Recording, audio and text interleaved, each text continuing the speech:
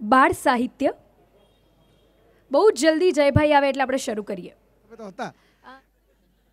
બરાબર? એટલે એવું આપણે નથી કરવું. એટલા માટે મેં નક્કી કરેલું કે ભાઈ આપણે એવું કરીએ કે ભાઈ પહેલાં બેસો, સાંભળો. પછી વીસ પચીસ મિનિટ થશે તો એક જગ્યાએ આપણે રિસેપ્શનના સ્ટેજ જેવું કરશું. એક બાજુથી આવે ને એક બાજુ જતા રહે, હું નીચે ઊભો રહીશ. ચિંતા ન કરતા એ પગથિયાઓમાં નહીં તમને ચડાવવું એક જ પગથિયું છે આટલું. સો પહેલાં તો તમારા બધાનો આભાર, કારણ કે આ જરા ઓફબીટ ટોપિક છે. રેગ્યુલર હું જીએલએફમાં જેવા ટોપિક લઉં એવો આ નથી. પણ અમે એક જીએલએફમાં વાત કરેલી. મારી પ્લેનેટ જેવી જે યુટ્યુબ ચેનલ છે, એમાં વીડિયો પણ મૂક્યો છે. પરિકથાઓની પાંખે.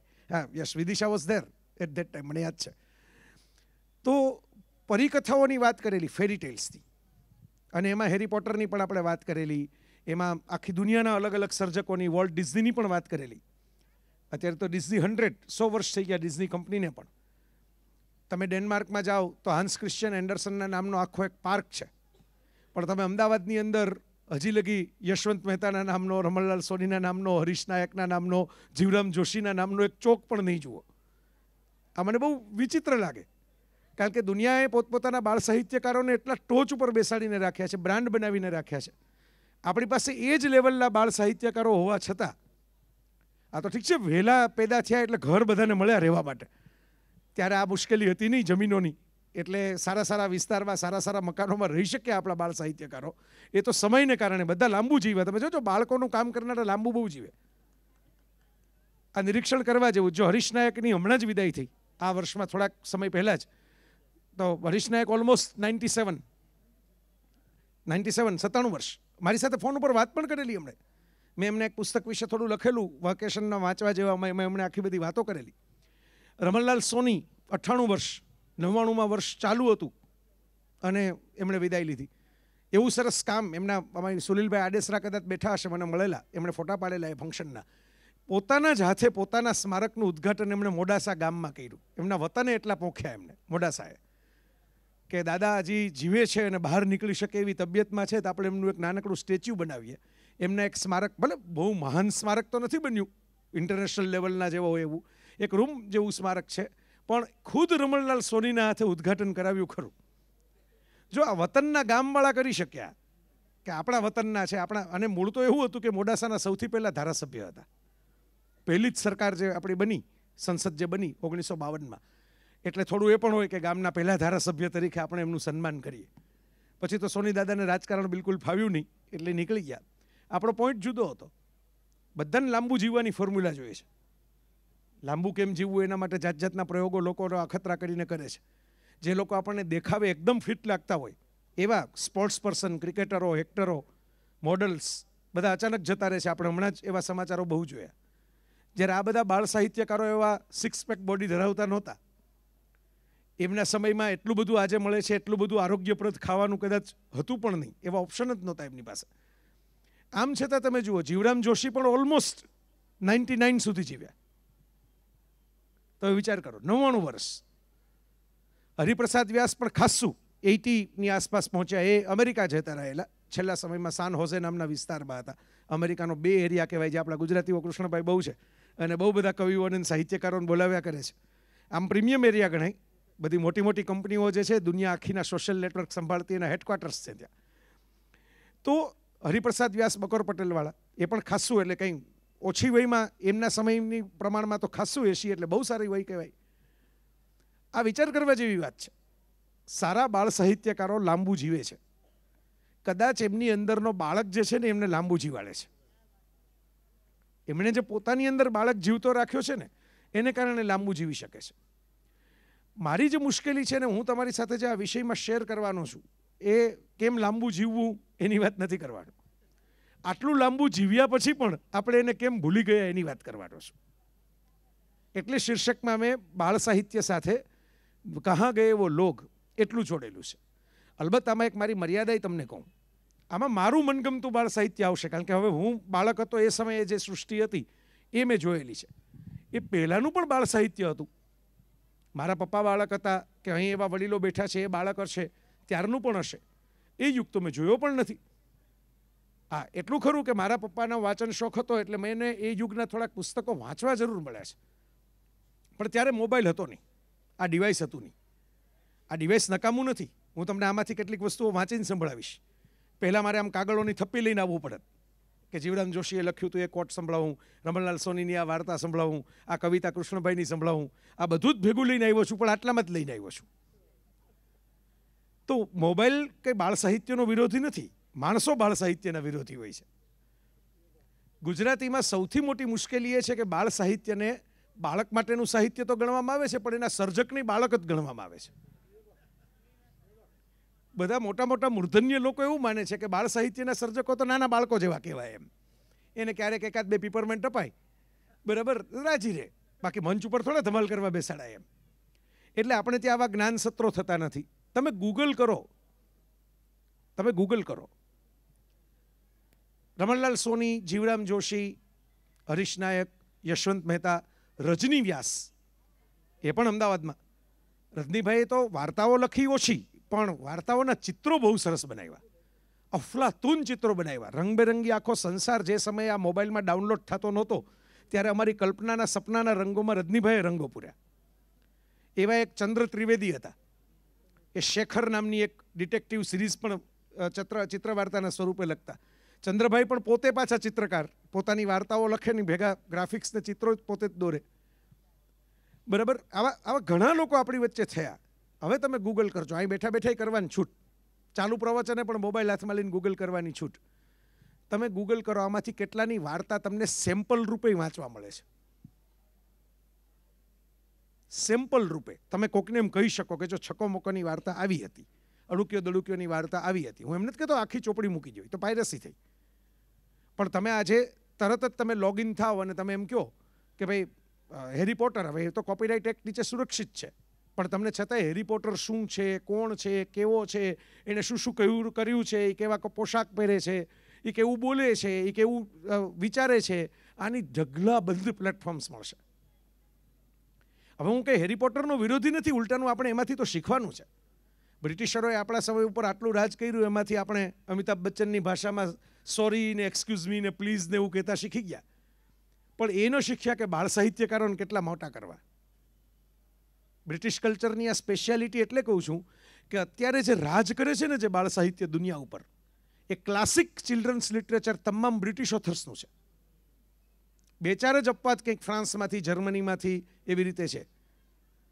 Raval Dal J R R ટોલ્કિન જે કે રોલિંગ બરાબર?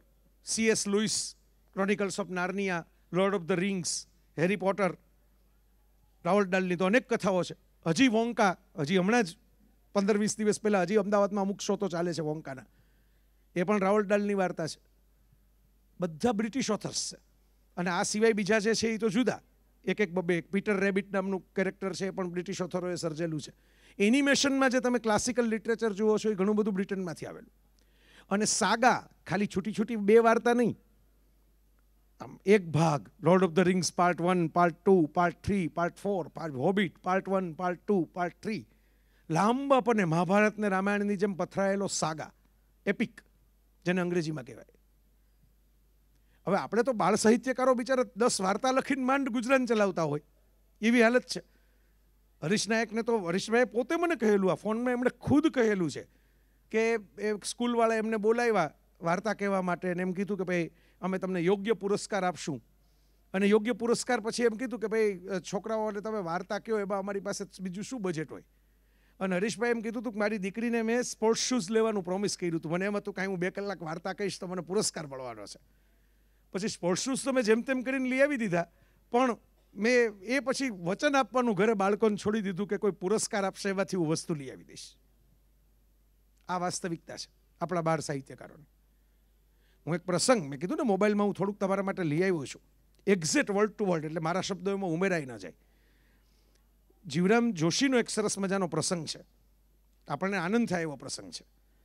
અને આવો જવાબ મારી મોઢે જુદા શબ્દોમાં રમણલાલ સોનીએ આપેલો. જીવરામ જોશીએ લખ્યું છે રંગલાની દિવાળી નામના પુસ્તકની પ્રસ્તાવનામાં. તમને હું સાઇટેશન સહિત આપું છું. ક્યાં લખ્યું છે? ઓગણીસો એક્યાસીની સાલ. હું ગાંધીનગર ગયો હતો, શિક્ષણ પ્રધાનશ્રીને મળવા. ત્યાં મથુરાદાસ મહેતા આવ્યા, મુંબઈના મોટા ધનવાન. મિયા ફુસ્કીના લેખક તરીકે મારી ઓળખાણ થતાં ખૂબ રાજી થયા. મથુરાદાસ મહેતાએ જૈફ ઉંમરે મારા ચપ્પલ જોયા, ખાદીનું ધોતિયું અને સાદો જભ્ભો જોયો. પછી કહ્યું, તમારા જેવો બાળ સાહિત્યનો કોઈ લેખક ઇંગ્લેન્ડ કે અમેરિકામાં જન્મ્યો હોત તો પોતાના વિમાનમાં ઉડતો હોત. મેં હસીને કહ્યું, મારા માટે, મારા લખાણ માટે આવા મીઠા બોલ સાંભળું છું, ત્યારે મને એમ જ લાગે છે કે હું આનંદના વિમાનમાં ઉડું છું. મથુરાદાસ કહે, ચાલો અમેરિકા, અહીં તમારી કિંમત નહીં થાય. મેં કહ્યું, ગુજરાત જ મારું અમેરિકા છે. આજ સુધી મીઠા બોલ સિવાય કોઈ ધનવાન ગુજરાતીએ મને કાણો પૈસોય ભેટ આપ્યો નથી.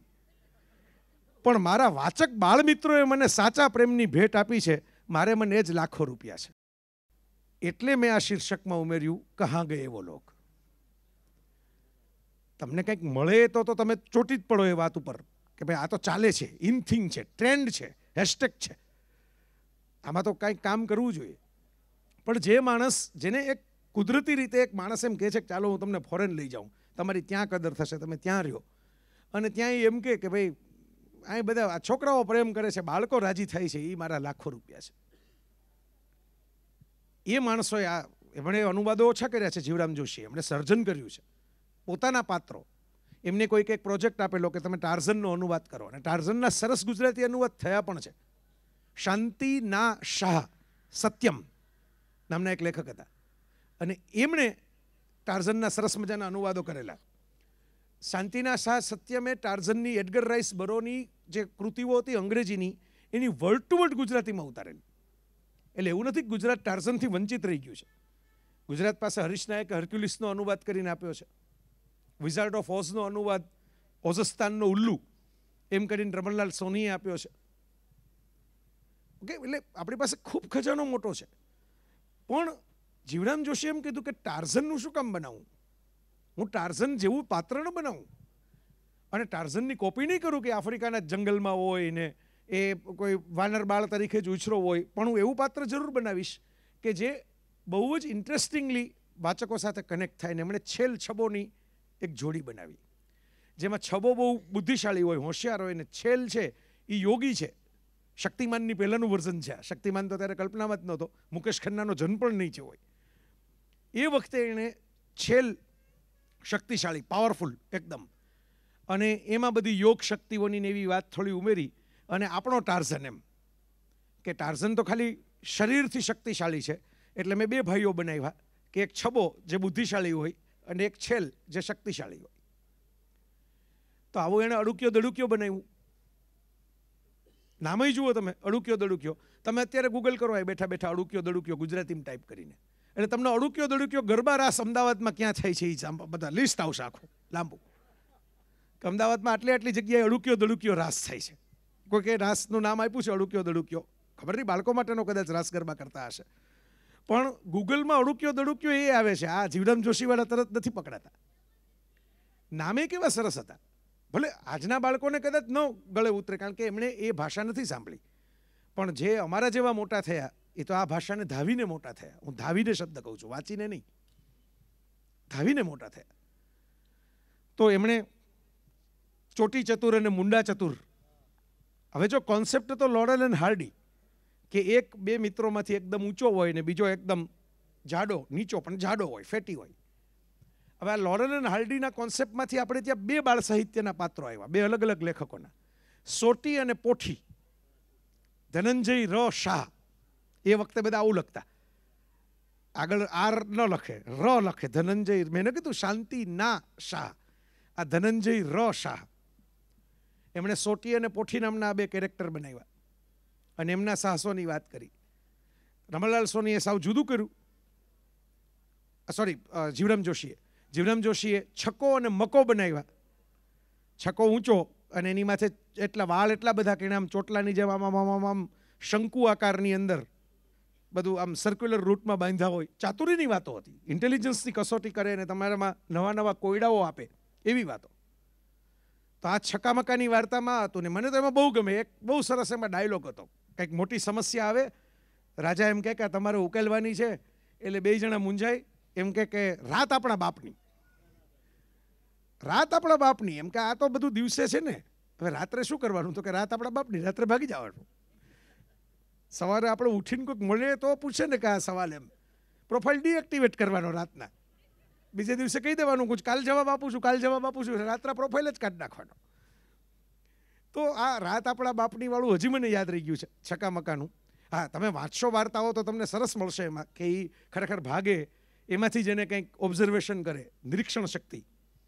એમાં કંઈક નવું એને મળે અને એમ એમ થાય કે, ઓહ, આપણે જે પ્રશ્ન પૂછાણો એનો જવાબ તો આમાં છુપાયેલો છે. એટલે છેક સુધી ક્યાંય ભાગ્યા તો નહીં જ. પણ રાત આપણા બાપની કરી કરીને એ જે અલગ અલગ જર્ની કરતા ગયા, એની વાર્તાઓ લખાઈ. એવી રીતે જીવરામ જોશીએ માનસેન સાહસી લખેલું. આફ્રિકામાં માનસેન નામનો એક યુવક છે સાહસિક એ વહાણ ભરીને જાય છે. અને ત્યાં એક ન, ગોરિલ્લાઓ નર વાનર ને એવા બધા પાત્રો પણ બનાવેલા. એક ખેતસી શેઠ કરીને ત્યાં કામ કરે છે. અને એ ખેતસી શેઠ છે એ બધાને ગુલામ બનાવે છે. અને માનસેન એની સામે લડે છે પાંચ ભાગમાં. Part one, two, three, four five મેં ચંદ્રયાન આપણું ગયું ને આપણે બધાને બહુ આનંદની, હરખની ક્ષણ મળી એમાં. ત્યારે આર્ટિકલ લખેલો એની શરૂઆત જીવરામ જોશીની ચાંદાની સફર પુસ્તકમાંથી કરેલી. ફિફ્ટીઝમાં એમણે, જ્યારે ઈસરો પણ હજી આપણી પાસે નહોતું, ત્યારે ફિફ્ટીઝમાં એમણે એ વાર્તા લખેલી કે બે એક દાદા અને એક નાનકડો છોકરો એ ચંદ્રયાનમાં બેસીને ચાંદા ઉપર જાય છે. અલબત્ત એમાં આજના એંગલથી તમે જુઓ તો કે ચંદ્રમાં તો વાતાવરણ નથી ને માણસો નથી ને પણ એ બધું તો આપણને પછી ખબર પડી.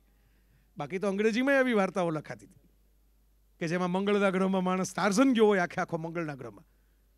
શુક્રના ગ્રહની અંદર માણસ જઈને શુક્રમાંથી કોઈ લગ્ન કરીને લઈ આવ્યો હોય, શુક્રની સ્ત્રીને મેન આર ફ્રોમ માર્સ અને વિમેન આર ફ્રોમ વિનસ તો એવી લિટરલી એવી વાર્તા લખાયેલી છે કે જેમાં શુક્રની અંદર જઈને પરાક્રમ કર્યું હોય.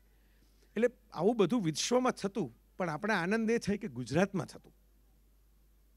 આપણા પપ્પાઓની ને આપણા દાદાઓની પેઢી માટે થતું. આ જીવરામ જોશી. આવું આવું સરસ કામ કર્યું. તમે બધા અલીબાબા ચાલીસ ચોરની વાર્તા સાંભળી હશે. એ તો અરેબિયન નાઇટ્સની વાર્તા છે. બહુ જૂની છે અને અનેક વખત અનેક ભાષામાં અનેક રીતે કહેવાયેલી છે. પણ તમને એ ખબર છે કે ગુજરાતીમાં અલીબાબા ગુમ નામની સિક્વલ એની લખી હતી. જીવરામ જોશીએ. કે અલીબાબા ચાલીસ ચોર તો જાણીતી બ્રાન્ડ થઈ ગઈ. કે ચાલીસ ચોર જે ઓલા હતા એ ચાલીસ ચોરમાંથી બધાના છોકરાઓ ભેગા થઈને ચોત્રીસ ચોરની ટોળી બનાવી. કે ઓલો અલીબાબા છે, એને આપણા બધાના બાપાને મારી નાખ્યા. એટલે આપણે અલીબાબા સામે બદલો લેવાનો છે.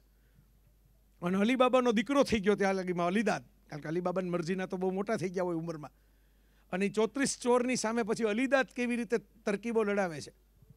વિચાર કરો, જીવરામ જોશી એક સમયે બનારસની અંદર જઈને સંસ્કૃત શીખેલા બ્રાહ્મણ, ભારતની આઝાદીની લડત માટે જેલમાં ગયેલા. એ બેઠા બેઠા અરેબિયન નાઇટ્સની સિક્વલ લખે ગુજરાતીમાં. આ સર્જકો છે, આવા ગુજરાતીઓ છે આપણી પાસે. આવા પૂર્વસૂરીઓના ખભા ઉપર આપણે બેઠા છીએ ને એટલે આપણી ઊંચાઈ થોડીક મોટી લાગે છે દુનિયાને. આવા લેખકો આપણી પાસે હતા. અને એટલે મેં આ શીર્ષકમાં લખ્યું છે, કહા ગયે વો લોક તમે વિચારો, કેવા કેવા લોકો? મેં રજનીભાઈનું તમને કીધું, બે બાળ સામાયિકો આવતા, એક રમકડું અને બીજું બુલબુલ. એ બુલબુલ પછી ચંપક ને ચાંદામામા તો બીજી ભાષામાંથી, હિન્દી અંગ્રેજીમાંથી અનુવાદ થઈને આવતા. કરુણતા તો એ કહેવાય, વિપુલભાઈ, તમને પત્રકાર જીવ તરીકે અફસોસ થાય. ચાંદામામાના સ્થાપક બી, નાગી, રેડ્ડી ગુજરી ગયા. એના છોકરાઓને એમાં રસ નહોતો. એમણે ચાંદામામાના પહેલા અંકથી શરૂ કરીને તમામ અંક પસ્તીમાં આપી દીધા. મકાન ખાલી કરવા માટે. ટાઈમ્સ ઓફ ઇન્ડિયાના ફોટોગ્રાફરે એનો ફોટો છાપ્યો એ પાછા એવા આપણે જો એક્સિડન્ટના વીડિયો ઉતારતા હોય એવા. ટાઈમ્સ ઓફ ઇન્ડિયા ધારે તો આખે આખું એક મકાન બનાવી શકે એમ છે ચાંદામામા સાચવવા માટે. એમણે ફોટો છાપ્યો એટલે મને મારા જેવાને, તમારા જેવાને ખબર પડી કે જો ચાંદામામાના પહેલા અંકથી માંડીને છેલ્લા અંક સુધીના તમામ અંકો છે એ આ ડોકયાર્ડમાં બોક્સમાં પેક થઈને પસ્તીમાં આવ્યા છે. આમાં કદાચ કોઈક ભજીયા ખાશે, આમાં કદાચ કોઈક ખારીસિંગ ખાશે. હવે ચાંદામામામાં વાર્તા તો જવા દો ચિત્રો બહુ સરસ આવતા. અફલાતુન ગ્રાફિકવાળા ચિત્રો આવતા. સાઉથ સાથેનું આપણું પહેલું ગુજરાતી કનેક્શન આ હતું. પુષ્પાન કેજીએફ તો પછી આવ્યા. બાહુબલી તો પછી આવ્યું. કાંજીવરમની સાડી જે આપણે કેલેન્ડરમાં જોઈએ છીએ, એવી કોરવાળી સાડી એમાં એક વિક્રમ વેતાલની આધુનિક વાર્તાઓ આવતી. જેમાં વેતાળ ખભા ઉપર ચડીને પ્રશ્ન પૂછે અને દર વખતે એક પ્રોબ્લેમ સોલ્વ કરી દે. આપણી પ્રજા તરીકે કલેક્ટિવલી નોટ ઓનલી ગુજરાત, આખા ભારતની વાત કરું છું, આ ચાંદનામામાં ગુજરાતી નથી. ગુજરાતમાં આવતું ખરું, પણ ગુજરાતી નથી. કલેક્ટિવલી આ જ મામલો છે. મૂળ માણસ જતા રહ્યા. બરાબર? મકાન ખાલી છે, મકાનના પૈસા આવે એમ છે, અંકના પૈસા આવે એમ છે, નથી આવે એમ, નાખો પસ્તીમાં. આવી જ રીતે આપણે સર્જકોની પસ્તી કરતા જઈએ છીએ. આ મુશ્કેલી છે. મેં કહ્યું એમ કે મારી પાસે થોડા ઘણા અંકો સચવાયેલા. તમે જય વસાવડાને જો કોલમનિસ્ટ તરીકે ઓળખતા હો, કારણ કે પહેલાં હું ગુજરાત સમાચારમાં લખતો થયો. એમાંથી લોકો વાંચતા થયા, મને બોલાવતા થયા. બોલાવતા થયા તો હું બોલતો થયો. અને તમારી સામે અત્યારે બોલું પણ છું. પણ આ ઝગમગ અને બુલબુલને કારણે જ મને કોલમ મળી. શ્રેયસભાઈ મને પહેલી વખત જ્યારે મળવા બોલાવેલો આ અમદાવાદ, ત્યારે કોલમની કોઈ વાત હતી જ નહીં. હું તો મળવા એમ આવ્યો હતો કે રાજકોટના આ કયો છોકરો વિદ્યાર્થી છે કે જે કોલેજમાં ભણે છે અને આપણા છાપામાં જાહેરાતની જગ્યા રોકીને લાંબુ લાંબુ લેખા કરે છે. એટલે બધે એણે ત્યાં કીધું કે ભાઈ, આ આ છોકરો આપણે પગાર નથી આપતા, આપણે જર્નાલિઝમ ભણેલો નથી, તો આપણે એનું કેમ છાપીએ છીએ? તો સ્મૃતિબેન એમના વાઈફ એમનો બધાના આખા કુટુંબનો બહુ ભાવ, એ મને રાજકોટમાં મળેલા. શ્રેયસભાઈ તો આવ્યા નહોતા રાજકોટ.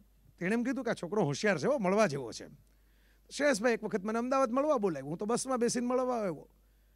અમારી વચ્ચે કોઈ પત્રકારત્વની, કોઈ કોલમની, કોલમ લખવા બાબતની, કોલમના પુરસ્કાર બાબતની કાંઈ વાત જ નથી. વાત શું થઈ ખબર છે? બુલબુલ અને ઝગમગ. કારણ કે એ પણ બાળક હતા એ વખતે. આજે એ મોટા થઈ ગયા. પણ એ વખતે બુલબુલ અને ઝગમગ અને મને કે કે તમને ખબર છે એમ કે ઝગમગ ઉપર તો ગુજરાત સમાચાર ચાલતું. ઝગમગ અઠવાડિક તરીકે એટલું બધું વેચાય અને લાઈન લગાડીને જેમ હેરી પોટર માટે આપણે પેલા ફોટા જોયા છે ને કે લાઈન લગાડીને લોકો ઊભા હોય. કે આ ચોપડી નવી રિલીઝ થવાની છે તો આમ બહાર લગી લાઈન હોય. આવી લાઈન તો મેં નજર સામે ગોંડલમાં જોઈ છે. જેમાં હું પણ ઊભો રહ્યો હું એટલે નજર સામે કહું છું. શુક્રવારે ઝગમગ છે એ જેને બંધાવ્યું હોય ને, એને છાપાનો ફેરિયો નાખી જાય. પછી ધીરે ધીરે ખણખોત કરતાં ખબર પડી કે આના પાર્સલ શુક્રવારે સવારે નથી આવતા કાંઈ. અને આ પાર્સલ તો ગુરુવારે રાતના આવે છે. તો અમારા જેવા પંદર વીસ છોકરાઓ ગોંડલ ગામમાં એ સમયમાં, આજે પણ ગોંડલ નાનું ગામ ગણાય પણ એ સમયની અંદર, ગોંડલની અંદર ઝગમગ રાતના જે આવે, શુક્રવારવાળું ઓફિશિયલ વેચાય, એની પહેલાં તાજી કોપી ઝગમગની આપણે માટે આવી જાય, એના માટે લાઈન લગાડીને ઊભા રહેતા. અને પછી તો ધીરે ધીરે જે ફેરિયા ભાઈ હતા, એને એના બાંધેલા ગ્રાહક જ ગણી લીધા. કે આ બેક બંડલ ખોલીને આટલા છોકરાઓને તો આપવાનું જોઈએ, એટલે નામ લખીને રાખે. દાખલા તરીકે હું કંઈક મોડો વહેલો થયો હોઉં ને, તો લાઈનની ચિંતા નીકળી ગઈ. જય લખેલું ઝગમગ હોય. નામ લખેલું આપે. આ દબદબો હતો, બાળ સામાયિકોનો. એક ફૂલવાળી અને નિરંજન આવતું, એ રાજકોટમાંથી બહાર પડતું. માર્વેલે સ્પાઈડરમેનને રીલોન્ચ કર્યો અને સોની કંપનીએ ફરીથી સ્પાઈડરમેનના રાઇટ્સ લીધા અને ઇન્ટુ ધ સ્પાઈડર વર્ષ સુધી આપણે પહોંચી ગયા. એની પહેલાં કરોળિયા માનવના પરાક્રમો તરીકે અમે સ્પાઈડરમેનને નિરંજનમાં વાંચેલો. એમાં એવું હતું, એક ઇન્દ્રજાલ કોમિક્સ આવતું. એમાં બહાદુર નામનો એક હીરો છે, ગુજરાતી ચિત્રકારો ગોવિંદ બ્રાહ્મણિયા અને ગીતા બ્રાહ્મણિયા. એમણે ક્રિએટ કરેલું હતું. બીજી ઓળખાણ આપું, ચિત્રલેખાની અંદર હરકિશન મહેતાની નવલકથાઓમાં જેમના ચિત્રો આવતા, એ આ દંપતી, ગોવિંદ બ્રાહ્મણિયા અને ગીતા બ્રાહ્મણિયા. તો એણે બહાદુર ક્રિએટ કરેલું ઇન્દ્રજાલ કોમિક્સ માટે. ફેન્ટમ વેતાલના સ્વરૂપે આવતું, મેન્ડ્રેક જાદુગર આવતો, રીપ કરબી, મને હજી યાદ છે, ગાર્થ. આ બધા ફોરેનની ચિત્રપટ્ટીઓ હિન્દી અને ગુજરાતી થઈને, ઇન્દ્રજાલ કોમિક્સ પણ ગુજરાતીમાં આવતું. મારી પાસે વોલ્ટ ડિઝનીની અજાયબ દુનિયા નામ થઈ ગુજરાતીમાં અનુવાદિત થયેલા મિકી માઉસ અને ડોનાલ્ડ ડકના કોમિક્સ છે. આપણે મિયા ફુસ્કી એમ નામ પડે એટલે આપણે એમ કહીએ હા, મિયા ફુસ્કી આપણા ગુજરાતની અલ્ટિમેટ બ્રાન્ડમાં બે આવે. બકોર પટેલ અને મિયા ફુસ્કી. બાકી બધા પણ લોકપ્રિય, પણ આ બંનેની આમ અદ્ભુત લોકપ્રિયતા. એ જમાનામાં મિયા ફુસ્કીની ગ્રાફિક નોવેલ બહાર પડતી. નાટકો થતા. ફિલ્મ બની હતી એક દિનુ ત્રિવેદીને લઈને. Zero zero seven. ભાઈલાલભાઈને ખબર છે? લ્યો. અરે ઓહો, મેં તો જોઈ નથી, પણ મને ખબર છે કે બનેલી. અરે વાહ. તો એટલે વિચાર કરો, જે જમાનામાં આજે પણ અત્યારે મુશ્કેલ છે બાળ સાહિત્યના કોઈ કેરેક્ટર ઉપર ફિલ્મ બને ગુજરાતીમાં, એ જમાનામાં ફિલ્મ બની ગઈ કેવી પોપ્યુલારિટી હશે? હવે હું તમને કમ્પેરેટિવ સ્ટડી આપું. બે હજાર પચીસમાં ડિઝની કંપની બહુ મોટી આવક ગુમાવવાની છે. કારણ કે બે હજાર પચીસમાં મિકી માઉસના સો વર્ષ થાય છે. અને અમેરિકન કાયદા મુજબ કોપીરાઇટ ફ્રી થાય છે મિકી માઉસ હવે તમને એમ થાય કે તો હવે મિકી માઉસ તો આપણે આપણી રફનોટમાં ચિતરીએ. એમાં શું? આપણી સ્કૂલમાં ઘણી વાર દોરેલો હોય રંગોળીમાં ઘણા તો મિકી માઉસ દોરે છે. એટલે એ તો વાંધો નહીં ડિઝનીવાળા આપણે ત્યાં સ્ટ્રાઇક કરવા નથી આવતા, એટલે ચિંતા કરતા નહીં. દોરે રાખજો. પણ મિકી માઉસ ઓફિશિયલ ડિઝનીની માલિકીનું કેરેક્ટર છે ને, એની વાર્ષિક આવક પાંચ અબજ ડોલર છે ડિઝની કંપનીને પાંચ અબજ ડોલર. એટલે આઠ પચાને ચાલીસ સાદી ભાષામાં. આપણે ગુણાકાર કરવો પડે ને. ગુજરાતીઓ છીએ આપણે યાર. એક ડોલરના ત્યાંસી રૂપિયા છે અત્યારે. તો આપણે કાચો ગુણાકાર કરીએ ત્રણ રૂપિયાને બાજુમાં રાખીને. તો એંશી સાથે તો ગુણવા પડે કે નહીં? એટલે ચારસો અબજ રૂપિયાની આવક માત્ર મિકી માઉસ મિકી માઉસ નહીં હોય મિકી માઉસના કેરેક્ટર રાઇટ્સ અપાવે છે. કે તમારે એનો વાપરવો હોય સિમ્બોલ, એનો લોગો, એનું રમકડું બનાવવું હોય એને નોટમાં મૂકવો હોય, એને પુસ્તકમાં મૂકવો હોય, તો ડિઝનીને રોયલ્ટી રાઇટ્સ આપવાના. હવે કલ્પના કરો, જો મિયા ફુસ્કીના રોયલ્ટી રાઇટ્સ જીવરામ જોશી લઈને ગયા હોત. વચ્ચે તો કોઈ આવ્યા તમારી પાસે એનિમેશન બનાવવા, તો મેં જાણ્યું કે કોઈ લીધા છે રાઇટ્સ એમાંથી. પણ લીધા છે. પછી કંઈક શું થયું એની આપણને ખબર નથી. એટલું જાણવા મળ્યું કે રાઇટ્સ વેચાઈ ગયા છે જીવરામ જોશીના પુસ્તકોના. હા સિરિયલ આવતી હતી. નાટકો મેં જોયેલા. નાટકો તો મેં જોયેલા છે. નાટકો તો અમારા રાજકોટ ગામ સુધી પહોંચી ગયા હતા. જી.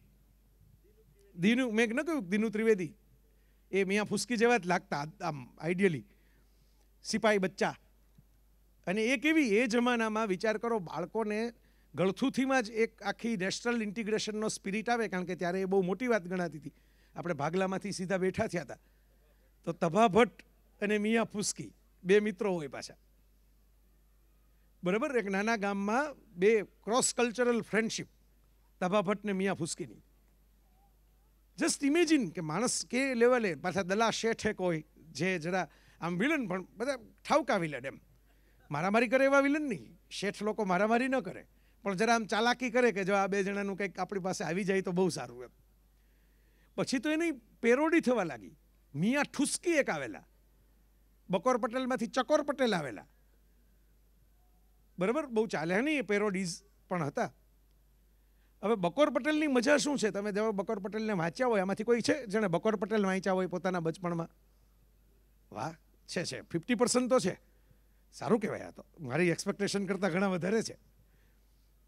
તો તમને લોકોને જેને વાંચ્યા છે એને ખ્યાલ હશે? નહીં વાંચ્યા હોય એને થોડી ઉત્તેજના થશે, થોડો તલસાટ થશે કે આપણે વાંચીએ. બકોર પટેલ નવા સ્વરૂપે હમણાં બહાર પણ પડ્યા છે. એટલે પણ એને રીરાઇટ કરી નાખવામાં આવ્યા છે. એટલે ઓલ્ડ વર્લ્ડ ચાર્મ એમાં હવે નથી રહ્યો. એમાં બધા ફેરફારો કરી નાખવામાં આવ્યા છે. એટલે ફેરફારો જરા ઓડ લાગે આપણને. કારણ કે મૂળ બકોર પટેલ દાખલા તરીકે એક હતું સંચાનો આઈસ્ક્રીમ બનાવે છે. અમારા સૌરભ શાહે આના ઉપર એક આખો લેખ લખેલો. કે સંચાનો આઈસ્ક્રીમ બનાવવામાં કેવી માથાકૂટ થાય ને પાણીમાં મીઠું વધારે પડી જાય ને આઈસ્ક્રીમ ખારો થઈ જાય ને બધી આમ બધાને ભેગા કરો ને તમે એમ કહો કે આપણે જાતે આ સંચો હલાવ્યો છે ને છેલ્લે બધા આઈસ્ક્રીમ ખાઈને થૂથું કરે. હવે એની મજા એ સંચામાં જ હતી ને એ આખી વાર્તાનો પ્લોટ છે એ જ સંચો છે. હવે તમે સંચાન બદલે ફ્રીઝ કરી નાખો અને એમાં ભૂલથી મીઠું પડી ગયું એમ કરી નાખો તો એ કોઈને ગળત ન ઉતરે. તો આ સ્ટોરી ટેલિંગની એક મજા હતી. મજા શું હતી? બકોર પટેલ, એના મિત્ર વાઘજીભાઈ વકીલ, એમના પત્ની શકરી પટલાણી, એના ડૉક્ટર હાથીશંકર ધમધમિયા, જેની પાછી સ્પિન ઓફ આજની ભાષામાં કહો ને કેરેક્ટર સ્પિન ઓફ તમે થોરે બનાવો ને પછી લોકી ઉપર સ્વતંત્ર સિરીઝ બનાવો. એ સ્પિન ઓફ થાય. સ્ટાર વોર્સની બની છે માર્વેલની બને છે. બરાબર?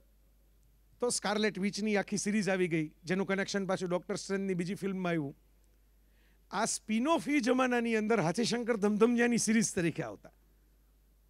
કે ભાઈ આ બકોર પટેલવાળું કેરેક્ટર હવે એની સ્વતંત્ર વાર્તાઓ એ સુરતમાં રહે. બકોર પટેલ મુંબઈમાં રહે. અને દરેક વખતે બકોર પટેલ એટલે શું? બ્લુપર્સ છબરડા. એક માણસ કંઈક સારું કરવા જાય, પણ દરેક વખતે સારું કંઈક થવાને બદલે કંઈક ઊંધું જ નીકળે. બરાબર? જે કંઈ થાય, પાપડ વળવા જાય તો પાપડ તૂટી જાય ને હવામાં ઉડવાનું મશીન બનાવે તો મશીનની અંદર પંચર પડી જાય ને. વાર્તા ફેસિનેટિંગ બધી, વર્ણનો અદ્ભુત. હરિપ્રસાદ વ્યાસે બહુ મજબૂત રીતે કામ કરેલું. પણ બ્લુપર્સના બકોર પટેલ, તારક મહેતાએ એક વખત એવું કહેલું કે મારા જેઠાલાલે બકોર પટેલની હ્યુમન એડિશન છે. માણસ સારા, પણ દરેક વખતે ક્યાંક ને ક્યાંક ભૂલો જ કર્યા રાખે. દરેક વખતે ક્યાંક ને ક્યાંક ગફલતમાં જ જાય. ઉતાવળ કરવા જાય ને ગડબડ થઈ જાય. પૈસા ખર્ચી નાખે પણ ખબર ન પડે શું કરવાનું છે. તો બકોર પટેલ, વાઘજીભાઈ, શકરી પટલાણી આ બધા પાત્રો એનિમલ વર્લ્ડના પણ ક્યાંય એનિમલના લક્ષણો જ નહીં એનામાં. એ માણસોની જેમ જ બિહેવ કરે, માણસોની જેમ જ રહે. એટલે animal world in human form એમ જ તમારે ગણવાનું. તે કેવી મજા છે? તમે વિચાર કરો, એટલે બાળકને બાળકને, સાવ બાળક બુદ્ધિને જ સમજવાનું. એની ઇમેજિનેશનને હવા દેવાની છે. એની કલ્પનાને. કે ભાઈ પાછળથી ઘનશ્યામ દેસાઈએ પણ બાળ વાર્તાઓ લખી. અત્યારે જે સારી બાળ વાર્તાઓ ચાલે છે, એમાં મારે આઈ કે વીજળીવાળાનું નામ લેવું પડે. એ એક બિંબુ મદનિયાનું એમનું પાત્ર સારું એવું હિટ થઈ ગયું છે. અને એના એક પછી એક એક પછી એક સિક્વલ પછી એમણે ખજાનાની પણ વાર્તાઓ લખેલી. હું એક પછી એક બધા કેરેક્ટર્સના તમને પરિચય કરાવું છું. તમને જરા બોરિંગ પણ લાગશે કદાચ વાર્તાઓ તો બહુ બધી ઇન્ટરેસ્ટિંગ હતી, પણ જો હું વાર્તા કહેવા જઈશ તો મારો સમય પૂરો થઈ જશે અને આ પાત્રો રહી જશે. એકચ્યુઅલ માણસો, સર્જકો. તમે વિચાર કરો, આ બકોર પટેલ લખનારા હરિપ્રસાદ વ્યાસનું આપણી પાસે કોઈ સારો ઢંગનો મોટો કહી શકાય એવો ફોટો પણ નથી. Just think about it Hariprasad Vyas ગુજરી ગયા અમેરિકામાં, કારણ કે સાન હોઝે રહેવા જતા રહ્યા હતા. હરીશ નાયક પણ થોડો સમય ગયેલા, પછી પાછા આવતા રહ્યા. તો અલગ અલગ રીતે અમારા જેવા યાદ કરે હરીશભાઈ ગુજરી ગયા, એની પહેલાં જે મેં લખેલું ને એમનો ફોન આવેલો, એમણે કોયડામલનું એક કેરેક્ટર બનાવેલું. હવે કોયડામલમાં ગુજરાતીના અનુવાદ પણ ન થાય ઇંગ્લિશમાંથી, કારણ કે કોયડા બધા ગુજરાતી ગોતવાના હોય. કોયડામલ એટલે બધું પઝલની ભાષામાં જ વાત કરે. સીધી ભાષામાં જવાબ જ ના આપે. બધા જવાબ પઝલની ભાષામાં આપે. એવું એક એને ટાર્ઝન કિશોરી, ટાર્ઝનની છોકરી, એ પણ ઠેકડા મારતી હોય જંગલની અંદર. એવું એક કેરેક્ટર બનાવેલું.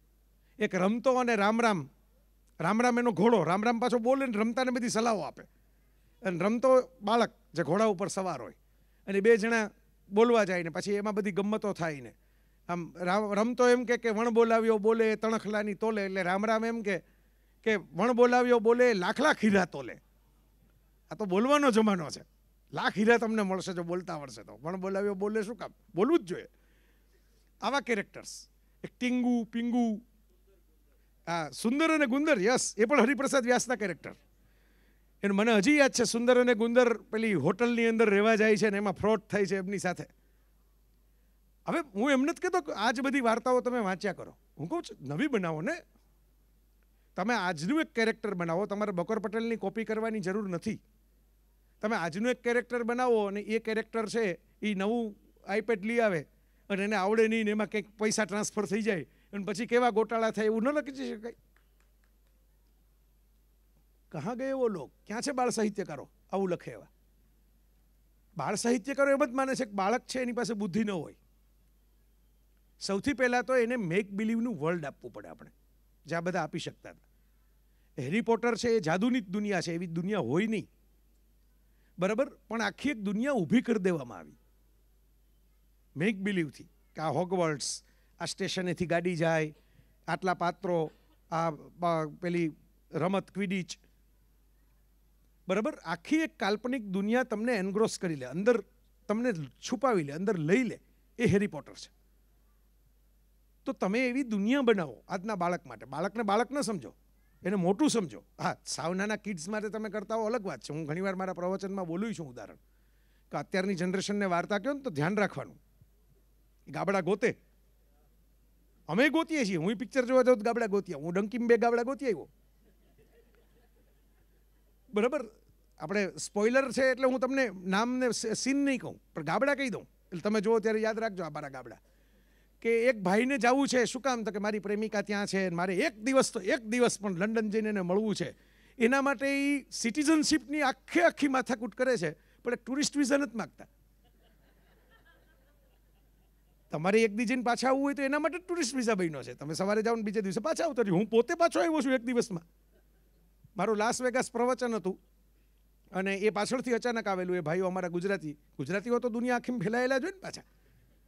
એટલે મોટલ ઓનર્સ એસોસિએશન હમણાં વોરન બફેટે એમ કીધું હતું કે તમારે શીખવું હોય તો પટેલો પાસેથી શીખવું પડે. ઇન્વેસ્ટમેન્ટ કેમ કરવું એ દુનિયાના નંબર વન ઇન્વેસ્ટર એમ કીધું પટેલો પાસે જ શીખવું પડે કે ઇન્વેસ્ટ કેમ કરવું અમેરિકામાં. તો મોટલ ઓનર્સ એસોસિએશનનું લાસ વેગાસમાં લક્ઝર કસિનોમાં સંમેલન હતું. અને હોય બધા ગુજરાતી પ્રમુખો. અમેરિકનોને નોકરીએ રાખનારા. એટલે એમણે એમ કીધું કે ભાઈ, આપણે અહીં એક પ્રોગ્રામ તમારો રાખવો છે. મેં કીધું, મારે તો અહીં તારીખો અપાયેલી. અહીં બધા આમ મને એનાઉન્સ કરવા માટે જેમ બધા બેઠા હોય એ રાહ જોતા હશે. તો મને કહે કે અમે તમને ટિકિટ આપી દઈએ. તમારે આવવાનું, ઉતરવાનું. બપોરે ઉતરો રેસ્ટ કરી લ્યો. સાંજે ફ્રેશ થઈને બોલી લ્યો. બીજે દિવસે સવારે ઉઠી જાજો. તો આના માટે ટુરિસ્ટ વિઝા બન્યા હોય. પણ આવડું મોટું પિક્ચર લખનારા મિત્રો આપણા જ ગુજરાતીઓ હોવા છતાં એમને એ ખ્યાલ નથી આવતો ટુરિસ્ટ વિઝા કેમ નથી આપતા કોઈને. બરાબર? બીજું એક ગાબડું છે, આ બ્લુપર્સ તમને કહું છું, મારી મસ્તી માટે કહું છું કારણ કે હમણાં એ ફિલ્મ રિલીઝ થઈ છે. બરાબર? એક પાત્ર એમ કહે છે કે હું તો પચીસ વર્ષથી મારું ઘર કેવું છે એ નથી જોયું, મારા મા બાપ કેવા છે એ મેં નથી જોયા. કારણ કે હું લંડનમાં છું ને ભારત આવી શકું એમ નથી, મારી વિઝા કેટેગરીને કારણે. ફાઇન ભારત તમે આવી ન શકો, પણ દુનિયામાં સ્માર્ટફોન જેવી ચીજ તો આવી ગઈ હોય ને પચીસ વર્ષમાં. તમે ઇન્સ્ટાગ્રામમાં ફોટા જોઈ શકો ને કે મારું ઘર કેવું છે ને મમ્મી પપ્પા અરે વીડિયો કોલે કરી શકો. કહેવાનો મતલબ એ છે કે તમે મેક બિલીવની દુનિયા બનાવો, જાદુની દુનિયા બનાવો. સાઉથના ઘણા ડિરેક્ટરો બનાવે છે જેમ તે આ કેજીએફ કે સલારી કાલ્પનિક દુનિયા છે. પણ એવી રીતે બનાવો કે એના બ્લુપરમાં તમને વાંધો ન આવે, કારણ કે તમને ખબર જ હોય કે આપણે જુદી દુનિયામાં જતા રહ્યા છીએ. તમે રિયાલિસ્ટિક વાત કરવા જાઓ ને ભેગા આવા ગાબડા છોડતા જાઓ, તમારા જેવાને નડે. તો પહેલાં બાળક જે બેઠું હતું ને, જેને હું વાર્તા કહેતો તો એવા કેરેક્ટર કૂવામાં પડી ગયું હતું તેણે એમ કીધું કે ફોન ન કરે કૂવામાં પડી ગયો હતો. એમાં આટલી બધી શું માથાકૂટ કરવાની? આખી થ્રિલ જ ગાયબ થઈ ગઈ એડવેન્ચર જ ગાયબ થઈ ગયું વાર્તાનું. ફોન કરો ને રેસ્ક્યુ ટીમને બોલાવો. હા એને સમાચારમાં જોયું હોય ને કે ઓલા ટનલમાં ગયા હોય, એને જો રેસ્ક્યુ ટીમ બચાવતી હોય. તો આને શું આટલું બધું કકળાટ કરે છે? કૂવામાં પડી ગયા, કૂવામાં પડી ગયા. તો બાળકો સ્માર્ટ થઈ ગયા છે સ્માર્ટફોન સાથે રમતા રમતા. તો તમારે હવે એ જનરેશનનું બાળ સાહિત્ય બનાવવું પડે. હું આ લોકોને ટ્રિબ્યુટ આપું છું એટલા માટે કે આ જો કદાચ જીવતા હોત તો એ લોકો ચેન્જ થઈ ગયા હોત. કારણ કે બધા લેખકોએ એવું કરેલું છે. ઝગવગની અંદર યશવંત મહેતા, એ જમાનાની અંદર આજે ટ્રોય ને ટ્રોજન અમ્પાયર ને એવી બધી આપણે કથાઓ બધી જોઈએ છે. વેબ સિરીઝના સ્વરૂપે ચિત્રવાર્તા તરીકે છપાતી. અવકાશ યાત્રાની કથાઓ છપાતી. કુમાર અને કેતુ નામના બે પાત્રોની. હલ્કની કોપી કરીને આપણે એક અણુરાક્ષસ બનાવ્યો હતો. વૈજ્ઞાનિક વિશ્વનાથ અને અણુરાક્ષસ. અણુના પ્રયોગો કરતાં કરતાં પ્રયોગનો વિસ્ફોટ થાય છે. અને પછી એ નોર્મલ થઈ જાય તો વૈજ્ઞાનિક વિશ્વનાથ હોય. અને જો ગુસ્સામાં આવી જાય તો અણુ રાક્ષસ થઈ જાય, વિરાટ લાઈક ગ્રીન હલ્ક તો નો ડાઉટ ક્યાંક ક્યાંકથી આપણું સાહિત્યકારો અમુક કૃતિઓ પ્રેરિત થઈને પણ લખી હોય. પણ એમનો હેતુ કોપી કરવાનો ન હોય, કારણ કે એમણે પોતાની રીતે પાત્ર લેખન કર્યું છે. એમનો હેતુ એમ હોય કે આપણે ઇન્ટરનેશનલ લેવલનું આપણા વાચકોને પીરસીએ. આપણા બાળકો એનાથી વંચિત ન રહેવા જોઈએ. એને ઇંગ્લિશ આવડે છે તો એ વાંચી લેશે, પણ ઇંગ્લિશ નથી આવડતું તો શું કરવાનું? તો અમે બેઠા છીએ ને, અમે એને સરસ ગુજરાતી વર્ઝન કરીને આપશું. અમે એના વતી જેમ પક્ષીના બચ્ચાઓ ચાવી ચાવીને બચ્ચાઓને ખવડાવે ને પક્ષીના મા બાપ એમ ચાવી ચાવીને ખવડાવશું. આ બાળ સાહિત્યકારોએ આવા કામ કર્યા. આ લેવલની વાર્તાઓ લખી મોટિવેશનલ સ્ટોરીઝ લખી. આપણે જેને મોટિવેશનલ ન કહીએ, પણ એકચ્યુઅલ મોટિવેશનલ હોય. બુદ્ધની જાતક કથાઓ છે, એ અટપટી વાર્તાઓ છે. રમણલાલ સોના એમાંથી અમૃત કથા નામનું આખી એક પુસ્તક તૈયાર કર્યું, જેમાં જાતક કથાઓને બાળ વાર્તા તરીકે લખી. અને એ બાળ વાર્તા તરીકે બહુ ફેમસ થઈ બધી કથાઓ.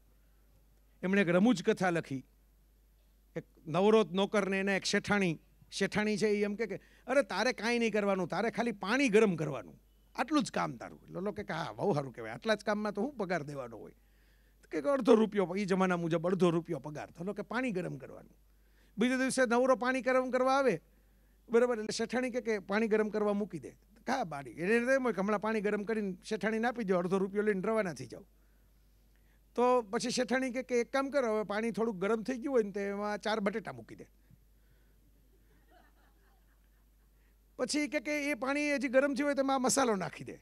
પછી કે ઓલા ચાર બટેટા છે ને જરાક આંગળી અડાડીને જોઈ લે. પોચા પડી ગયા હોય ને તો બહાર કાઢી, કટકા કરી અને પાણી જો ઉકળી ગયું હોય ને તો પછી પાછું ઉકળવા મૂકીને એમાં નાખી દે. આખે આખું શાક વઘારી લીધું ને રોટલી બનાવી લીધી ને ખાલી મેં મેં તને ગરમ પાણી કરવાનું કીધું. બાકી તો બધી ખાલી થોડું થોડું નાખવાનું જરી આમથું થોડાક મસાલા નાખવાના થોડાક બટેટા નાખવાના આવી આવી કૃતિઓ આપણા બાળ સાહિત્યમાં છે. લેખકો આવું આવું સરસ લખીને ગયા છે. ઇનોવેટિવ જરા જુદું, હટકે. અને આ બધું મેં કીધું એમ મેગેઝિનોમાં હપ્તાવાર છપાતું. કિંગકોંગ અને સ્ટાર વોર્સ. હવે સ્ટાર વોર્સનું ગુજરાતી કરો તો શું થાય? ચાલો, મને કોઈ કયો જોઈએ. સ્ટાર વોર્સનું ગુજરાતી આપણે કરવું હોય, ધારો કે આપણે પ્રોજેક્ટ હાથમાં લીધો. સ્ટાર વર્ષનું ગુજરાતી શું કરીએ? તારાઓનું યુદ્ધ. બીજું કોઈ? યસ? તારા યુદ્ધ સરસ. પાછળ. એક્ઝેક્ટલી થયેલું છે. સ્ટાર વર્ષના પહેલા ભાગ આખે આખો ગુજરાતીમાં ઉતરેલો છે. પ્રેમનાથ મહેતા. મને જાણવા મળ્યું, કારણ કે એમની શૈલી યશવંત મહેતા જેવી, એટલે હું એમ માનતો હતો કે યશવંત મહેતા જ નામ બદલાવીને લખતા હશે. આપણે ત્યાં બિચારા લેખકો પેટીયું રડવા માટે ચાર પાંચ નામે પણ લખે. એટલે વાચક કંટાળી ન જાય કે એક જ ભાઈ શું વાર્તા લેખા રાખે છે એ બિચારા ચાર નામ કરી કરીને એકનો એક માણસ છે, એક જ મેગેઝિનમાં ચાર વાર્તા લખે. પણ પ્રેમનાથ મહેતાએ તારક જંગ નામ આપેલું. જો તારાઓનું યુદ્ધ સાચું જ નામ છે, ખરાબ નામ નથી, ખોટું નથી. પણ સ્ટાર વોર્સમાં જે પેલો ફોર્સ છે ને, વજન, એ વજન તારાઓનું યુદ્ધમાં નથી આવતું, પણ તારક જંગ. અને ડાર્થ વેડરનું એમાં ગુજરાતી કરવામાં આવેલું ડાર્થ વેડરનું પાત્ર વિલનનું પાત્ર છે. જે નવી સિરીઝની અંદર પેલા એડમભાઈએ ભજવ્યું છે, એડમ ડ્રાઈવરે તો ડાર્થ વેડરનું જે જૂનું પાત્ર હતું એનું ગુજરાતી કરવામાં આવ્યું નરકાસુર. નરકાસુર કૃષ્ણની કથાનું કેરેક્ટર છે. પણ ડાર્થ વેડર, હવે કાળો છે, અંધારું છે નેગેટિવ સાઈડનો છે, શેતાની છે, આ બધું એક જ શબ્દમાં આવી ગયું, નરકાસુર. આવા સર્જકો હતા આપણી પાસે. મારે જે વ્યથા તમારી સાથે શેર કરવી છે ને, બાળ સાહિત્યનું લેક્ચર તો ખરેખર ફૂલ ગુલાબી હોવું જોઈએ. રંગરંગ વાદળિયાવાળું હોવું જોઈએ.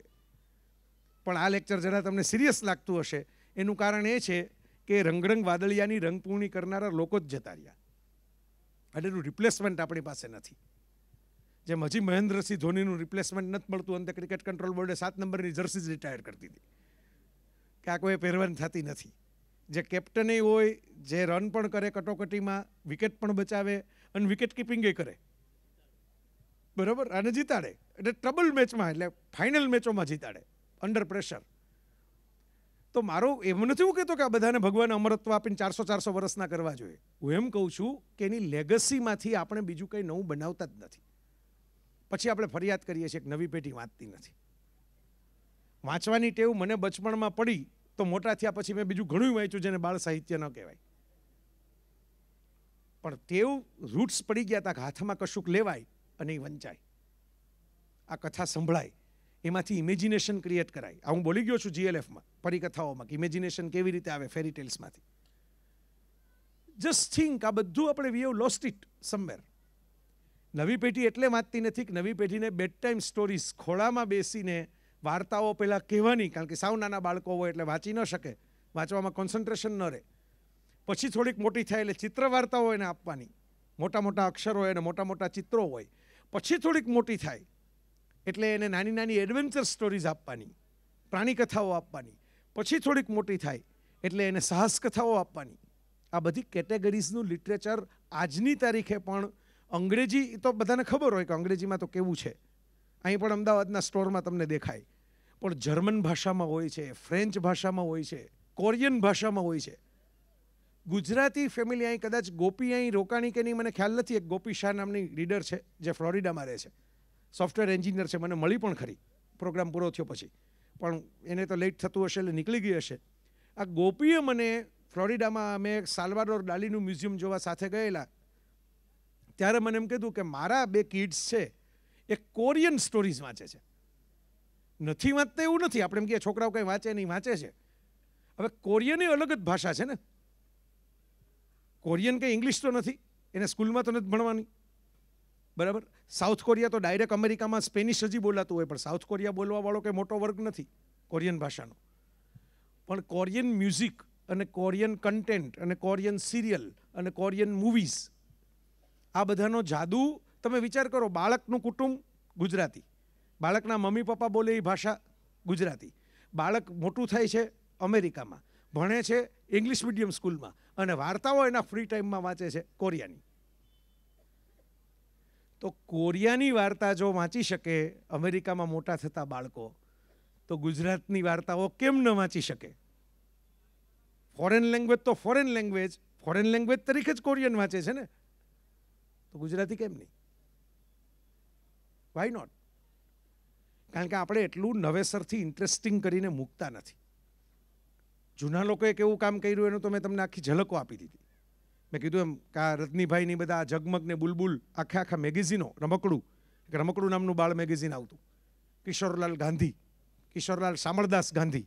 જે શામળદાસ ગાંધી આરઝી હકુમતમાં જુનાગઢ સરદાર પટેલના કહેવાથી નવાબના કબજામાંથી છોડાવીને ભારત રાજ્યમાં લોહીનું ટીપું રેડા વગર ભેળવી દીધું, એના દીકરાએ બાળકો માટેનું મેગેઝિન બહાર પાડ્યું. રમકડું નામનું. મેગેઝિનનું નામ એ કેવું સરસ? રમકડું. હા મંથલી હતું.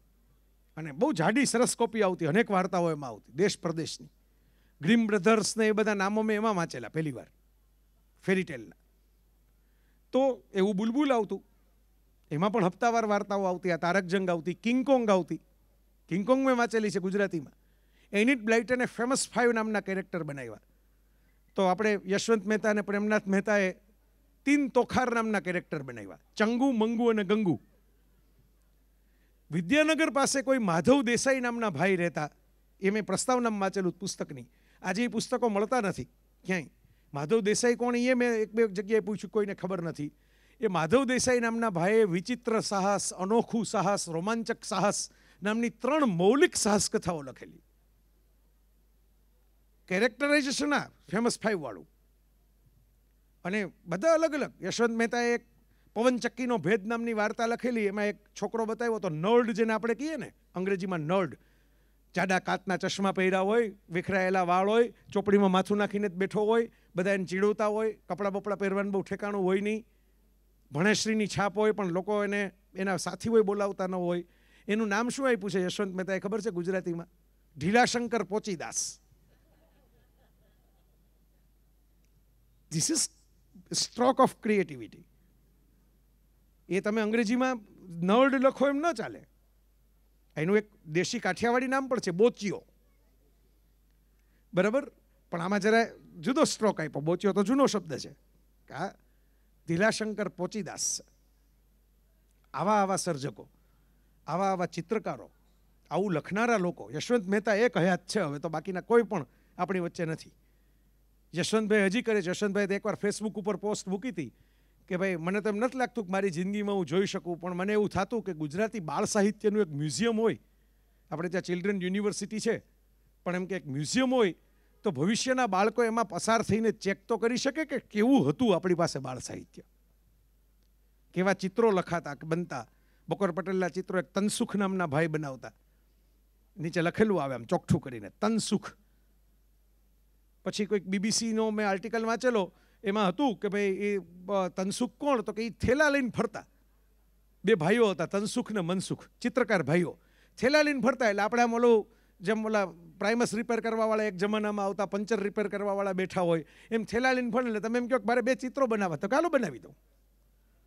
તમારી સામે જ બેઠા બેઠા બે ચિત્રો બનાવીને પાછા નીકળી જાય. એક ગાંડીવ નામનું મેગેઝિન આવતું અને એ ગાંડીવ માટે આવતું. ઈશ્વરલાલ વીમાવાળા નામના એક ભાઈએ રાઇડર હેગાલ્ટની વાર્તાઓ, નવનીત મદ્રાસીએ અમદાવાદમાં રાઇડર હેગાલ્ટની વાર્તાઓ આપણા બાળકો માટે અનુવાદિત કરી. આ રંગરંગ વાદળિયા નાના થઈને રે, આ બધું ઝવેરચંદ મેઘાણી લખી ગયા, ખાલી રસધાર નથી લખી ગયા. નાની મારી આંખે જોતી કાંક કાંક, એ તો કેવી અજબ જેવી વાત છે. આવા ગીતો. રમણલાલ સોરીએ મને કહેલું કે ભાઈ, તમે ગીતો ગાઈને જ સંભળાવવાના હોય, બાળકોને વાંચાવાના ના હોય. જે ગીતો ગાવામાં મજા ન આવે ને, એક હતો ચટપટ ને એની મા હતી પટપટ. એનો બાપ હતો ઝટપટ. જાય જે નાના નાના બે ત્રણ બચ્ચાઓના ચહેરા ઉપર તરત સ્માઇલ આવ્યું. હજી આપણે વાર્તા તો કીધી જ નથી, સમજો. વાર્તાની પહેલી લાઈન કીધી કે એક હતો ચટપટ, એની મા હતી પટપટ, એનો બાપ હતો ઝટપટ. બસ ત્યાંથી જ શરૂ થઈ ગઈ story telling this is story telling અમારા કૃષ્ણભાઈ આવી રમતો કરે છે એની કવિતામાં. હું એક કવિતા છેલ્લે સંભળાવવાનો છું જોઈએ મેં એને કીધું કે તમારી એવી કવિતા મોકલો જે બધાને ખબર ન હોય. બાકી એમની કવિતાઓ પછી બહુ જાણીતી થઈ ગીતની. તો સ્કૂલે સ્કૂલે જઈને છેલ્લા નાખીને પ્રોગ્રામે કર્યા આવે કવિતાના. છોકરાઓને જલસો પડી જાય. એમને માંડ મુક્તિ મળે પેલા શિક્ષકોમાંથી. કે આ ભાઈ આવ્યા છે ને એ બરાબર છે એ ભણાવે વધારે સારું. તો આ બધું જ મેં તમને આમાંથી યાત્રા કરાવી. એક નાનકડી વાર્તા સંભળાવીને આપણે સમાપન તરફ જઈએ. કારણ કે તમારા સવાલ જવાબે હજી મારે લેવાના છે. અને ઓલરેડી સવાલ જવાબ લેવામાં આપણે લેટ ચાલીએ છીએ. કારણ કે હું તો આ મોટો થયો છું આ બધાની આંગળી પકડીને. તમારી સામે આજે જે જય વસાવડા ઊભો હોય બાલ વિનોદ ગ્રંથાવલી, યસ. આવી તો ઘણી ગ્રંથાવલીઓ બાલ વિનોદ ગ્રંથાવલીઓ જેવી હરીશ નાયકે તો એક હજાર વાર્તાઓની હરેશિયન નાઇટ્સ, અરેબિયન નાઇટ્સની હજાર વાર્તા આપણને નથી મળતી. કહેવાય છે કે હજાર વાર્તા હતી, પણ હજાર વાર્તા અત્યારે ઉપલબ્ધ નથી. પણ હરીશ નાયક એમની લાઈફમાં બધી લખેલી વાર્તા ભેગી કરીને આખો સેટ બનાવ્યો હરેશિયન નાઇટ્સ. એક હજાર. નાનાભાઈ ભટ્ટ, મૂળશંકર મોહનલાલ ભટ્ટ. બાળ સાહિત્યનો સરસ અનુવાદ, રસાળ અનુવાદ કરનારા. હમણાં જ એક છોકરો અહીં ચાલતા ચાલતા મને પૂછી ગયો, પહેલા સેશન પછી, કે મેં સાહસિકોની સૃષ્ટિ તમે કીધું પછી વાંચી લીધી. હવે મને એવી બીજી વાર્તા કયો ને? હવે હું કોઈકની સાથે વાતમાં હતો ને તો મને એમ કહે તો જતો રહ્યો. તો એ દસ મિનિટ ઊભો રહીને જેવી વાત બધી પૂરી થઈ એટલે પાછો ઓલી બીજી વાર્તા કયો ને? સાહેબ, આ તાકાત છે એ એક ઝૂલે વરની અને બીજી મૂળશંકર મોહનલાલ ભટ્ટના અનુવાદની કે એક માણસને હવે આ તો પેલું, આ ગિફ્ટ સિટી જે કારણોથી સમાચારમાં છે એવો નશો છે? પૃથ્વી પ્રદક્ષિણા, સાગર સમ્રાટ, પાતાળ પ્રવેશ, ચંદ્રલોકમાં, ગગનરાજ. મોઢે કહી દઉં તમને બધી, જેટલી અનુવાદ થઈ ગઈ જેટલી. બરાબર? એ એમના અનુવાદો બધા. પછી એ સિવાય અનુવાદ કર્યા બીજા બધા લેખકોએ. જુલેવરની અમુક કૃતિઓના રાણીનો ખજાનો બલૂન પ્રવાસ. કારણ કે હું મોટો થયો છું, એક રેત માનવ નામની કથા કિશોર પંડ્યા નામના શિક્ષકે લખેલી. અને હું ભણતો ત્યારે મેં કંઈક એનો ઉલ્લેખ કરેલો પછી કિશોરભાઈને હું મળ્યો ખરો. મજાના માણસ હતા. રેત માનવ રેતીનો માનવ. તો આવી આવી કથાઓ લખનારા લેખકો સાયન્સ ફિક્શન હતી, રેતીનો માનવ. એના અનુવાદકો પણ હતા, સર્જકો પણ હતા, વિજ્ઞાન કથાઓ લખનારા પણ હતા. યશવંત મહેતાએ ઘણી લખી છે, વિજ્ઞાન કથાઓ. તમને એક કથા નાનકડી રમણલાલ સોનીની જાણીતી કથાઓ તમે ઘણી બધી વાંચી સંભળાવી છે. પણ એક દિવસ એક જુવાન સસલાએ, નાનકડી જ વાર્તા છે. એક દિવસ એક જુવાન સસલાએ બધાને ભેગા કરીને કહ્યું, છી, આ તો કઈ જિંદગી છે. ઘડીએ ને પડે કંઈક ને કંઈક નવું થાય એનાથી બીતા રહેવાનું આપણે. બીતા બીતા જીવવું એના કરતાં એકદમ મરી જવું કેવું સારું? બસ મેં તો નિર્ણય કર્યો છે કે હવે મરી જાઉં જો જૂની વાર્તા છે, પણ બહુ રિલેવન્ટ છે. બીજા સસલાએ વાતને ટેકો આપ્યો કે સસલાના માટે જીવવું એ અપમાન છે, મરવું એ ગૌરવ છે. એટલે મેં પણ નિર્ણય કર્યો છે કે માનપૂર્વક અને ગૌરવપૂર્વક મરી જવું. બસ મરી જવું, લાંબો ટૂંકો બીજો વિચાર કરવો જ નહીં. ત્રીજા સસલાએ કહ્યું, બિલકુલ સહી વાત કરી છે. હું તો જોઉં છું કે જીવવામાં આપણી જરીકે સલામતી નથી. કોઈને કોઈ ગમે ત્યારે ખાઈ જાય, એનાથી ફફડતા રહેવાનું દોડતા રહેવાનું.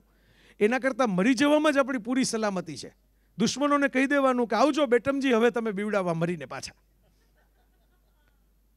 હવે થયું એવું કે બાબા ધીરે ધીરે સસલાઓમાં વાત ફેલાણી અને બધા સસલાઓએ સાગમટે નક્કી કર્યું કે આપણે મરી જાઉં.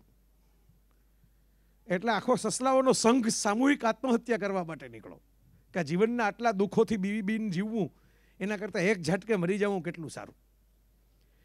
હવે એ લોકો દોડી દોડીને મરવા માટે, આપઘાત કરવા માટે એક ભેખડ ઉપર ગયા, જ્યાંથી પાણીમાં ધુબાકો મારીને મરી જવાય. ત્યાં દેડકાઓ કેટલાક હતા અને સસલાઓનું ટોળું આવતું જોઈને દેડકા બધા ડરીને અંદર જતા રહ્યા પાણીમાં, કે આપણને કચડી નાખશે બધા સસલાઓ. તો દેડકાઓ અંદર જતા રહ્યા, એટલે ઓલા એક સસલાએ એમ કીધું કે, ભાઈ, આપણે આને તો પૂછીએ, આપણા કરતાં તો આને બીક જાજી લાગે છે. આપણે તો હિંમતથી ભરવા નીકળ્યા હતા. તો જો આપણને જોઈને પાછા અંદર ઘૂસી ગયા પાણીમાં.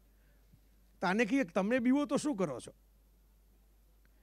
મેડકરાજે કહ્યું, પૂછ્યું દેડકાને, અમે બી બીને જીવીએ છીએ વાત ખરેલી, વાત તો ખરી, પણ એવી રીતે વિપત્તિઓથી ઘેરાયેલા રહીને જીવવામાં જ બહાદુરી છે.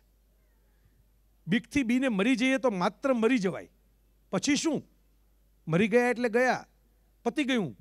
પછી તમને કાંઈ ખબર પડે નહીં. પણ જીવવામાં તો કેટ કેટલું જોવા, જાણવાનું અને માણવાનું મળે છે. જીવવાની મજા કંઈક ઓર છે. રમીએ, કૂદીએ, લડીએ, રડીએ, એ બધું જીવતા હશું તો થશે.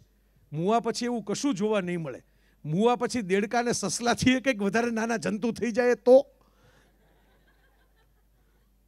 છી મૂ એવું બોત.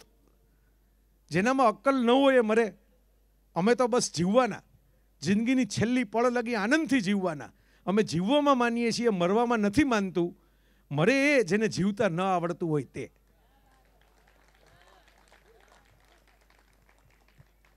વર્ષો જૂની વાર્તા છે. અને પછી એક વૃદ્ધ સસલાએ બાકીના સસલાઓને એમ કીધું, આ દેડકાની વાણી સાંભળીને, કે મને લાગે છે કે બીવું એ તો પ્રાણી માત્રનો ભગવાને આપેલો સ્વભાવ છે. માટે આપણે એક જ નક્કી કરવાનું કે મરવું નહીં અને બીવાથી બીવું પણ નહીં. હજાર વાતોથી બીવું પડે તો બીવું, પણ જીવવાથી તો કદી પણ બીવું નહીં. જીવવાની મજા માત્ર જીવવામાં છે. માટે મરવાની વાતો છોડો અને સાવધાનીથી બધા ઘરે પાછા ફરો. આજુબાજુ જોઈને કે હવે મરીને જ જવાનું એમ. જસ્ટ થિંક હવે આ વિચાર કરો, આની ઉપર કોઈ મોટિવેશન ટેગ લગાવેલો નથી. આમાં કોઈ કોર્સ છે, એના પૈસા ભરેલવાના નથી. આ વાર્તા સિમ્પલ ચિલ્ડ્રન સ્ટોરી છે. પણ જે બાળકો આ વાર્તા વાંચીને મોટા થયા હોય, અંદર પેલો સોફ્ટવેર જ્યારે બનતો હોય ત્યારે અંદર ડીએનએ થતું હોય, એમાં અંદર ઘૂસી ગઈ હોય આ વાર્તા. તો જ્યારે એનું ફાઇનલ ડીએનએ તૈયાર થાય, એનું અલ્મા મેટર ગ્રે મેટર બધું રેડી થઈ ગયું હોય પચીસ વર્ષે, ત્યારે એ મરવાની વાત કરે નહીં. જીવવાથી ભાગવાની વાત કરે નહીં. આ રમણલાલ સોનીની વાર્તા. મેં એક સેમ્પલ મેં તો એક જ સેમ્પલ ચખાડી શકું એમ છું આટલા સમયની આપણી જે મર્યાદા છે એમાં.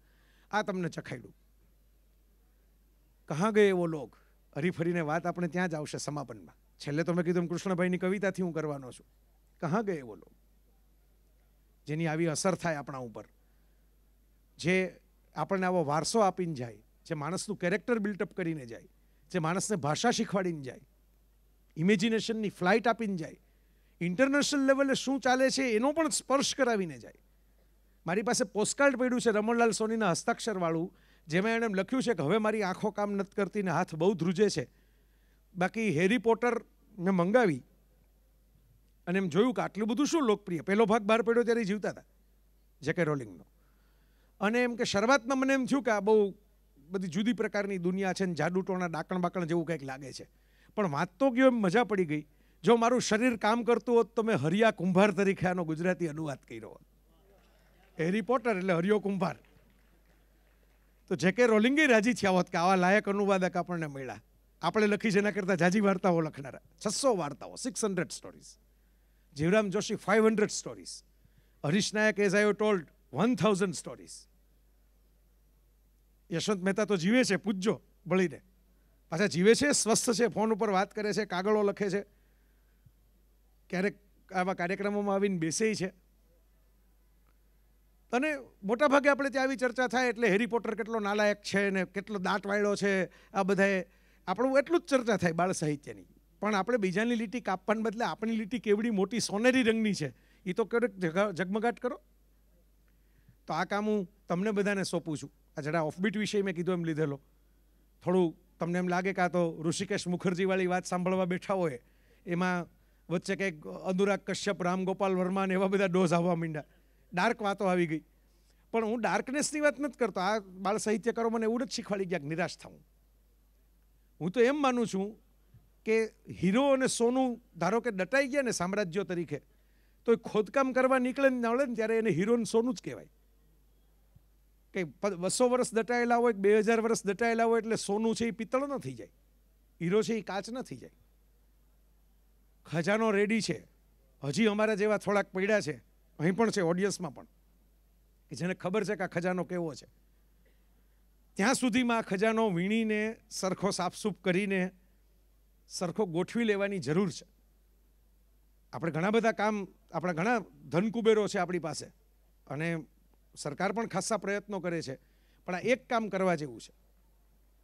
બાળ સાહિત્યને ફરીથી સજીવન કરવાનું. નવા સાહિત્યકારોને લઈ આવો, નવી વાતો લઈ આવો, નવે પ્લોટ લઈ આવો. જેમ કૃષ્ણભાઈ લઈ આવ્યા. હવે હું તમને સંભળાવું. કૃષ્ણભાઈની કવિતા એટલે પૂરું થાય. બરાબર? કારણ કે તમે મેં કહી દીધું હતું ને કે અહીંથી પૂરું થશે એટલે જે ખરેખર બાળકનો સ્વભાવ રાખતા હોય ને એ યાદ રાખે. કે ઓલું છેલ્લે આઈસ્ક્રીમની વાત આવી હતી એમ. એટલે આઈસ્ક્રીમ તો કોઈ બોલ્યું જ નહીં. આખી પાર્ટી પૂરી થઈ ગઈ ને આઈસ્ક્રીમ કાં નો આવ્યો એમ?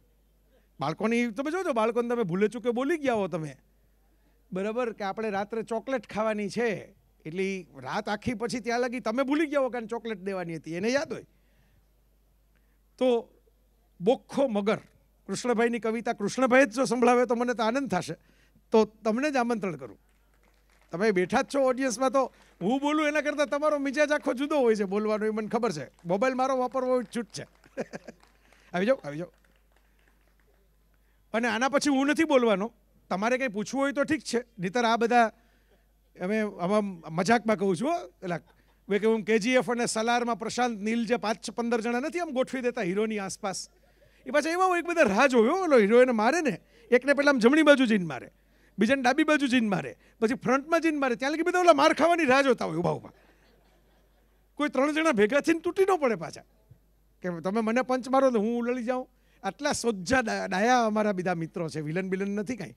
બિચારા રાહ જોવે છે કે તમે અમને પંચ મારો તમે ઉલ્લીએ જાય. પણ એ દેખાય ને એટલે મને ખબર પડી જાય કે હવે સંકેત આવી ગયો છે આપણી પાસે કે ભાઈ હવે પૂરું કરવાનું છે. ચંચી મહેતાની રચના. મૂળ ચંચી મહેતાની રચના. આપણને બધાને ખબર છે. હું બહુ ઝડપથી મારી વાત મારી રચના કરું એ પહેલાં ચંચી મહેતાની રચના બોલવી પડશે કેમ કે એનો સંદર્ભ છે આમાં. અને તમને બધાને આવડે છે. એટલે જો શક્ય હોય તો બધા સાથે બોલે તો કેવું? એક બિલાડી જાડી, એણે પહેરી સાડી સાડી પહેરી ફરવા ગઈ, તળાવમાં તો તરવા ગઈ, તળાવમાં તો મગર બિલ્લીને આવ્યા ચક્કર, સાડીનો છેડો છૂટી ગયો, મગરના મોંમાં આવી ગયો મગર બિલાડીને કેટલું આમ આનંદથી તમે બોલો છો મગર બિલાડીને ખાઈ ગયો. આ ગમે કોઈને આવું? ના ગમે ને? તો જયભાઈ મેં શું કર્યું પછી? બોડી શેમિંગ એ થઈ ને જાડા લોકો બધા ખાઈ જાય. એટલે મેં પછી મેં નવું શું કર્યું? એક બિલાડી જાડી પાડી એ તો પહેરે જીન્સ એના બેના નકડા બચ્ચા બ્લેક એન્ડ વ્હાઈટ ટ્વિન્સ રોજ સવારે તળાવ કાંઠે બધા ફરવા જાય. લુચ્ચા મગર ભાઈના મોંમાં પાણી આવી જાય. મીઠું મીઠું સ્માઈલ આપી એ સૌને લલચાવે. બચ્ચાને પણ ખબર હતી કે બિલ્લી એને ભાવે. મોર્ડન બિલ્લી જોઈ મોર્ડન બિલ્લી જોઈ મગરનું ચિત્ત ચડે ચકરાવે. આ તે કેવી બિલ્લી જેને ચક્કર પણ ના આવે? એક દિવસ તો બિલ્લી બાઈએ મનમાં વાળી ગાંઠ. કદી ભૂલે નહીં એવો શીખવું મગર ભાઈને પાઠ.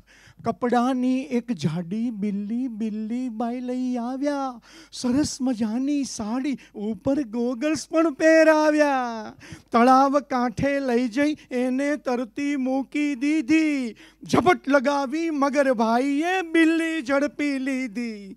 પણ કપડાની બિલ્લીમાં કપડાની બિલ્લીમાં પથ્થર સંતાડ્યા તા સાત. તડતડ તડતડ તડ તડ તડાક તૂટ્યા મગરભાઈના દાંત. બિલ્લી બેનને મગરભાઈનો હિસાબ થઈ ગયો ચોખ્ખો. તળાવમાં તો બધા જ ખીજવે. આવ્યો મગર બોખો. ક્યાં વાત છે કૃષ્ણભાઈ?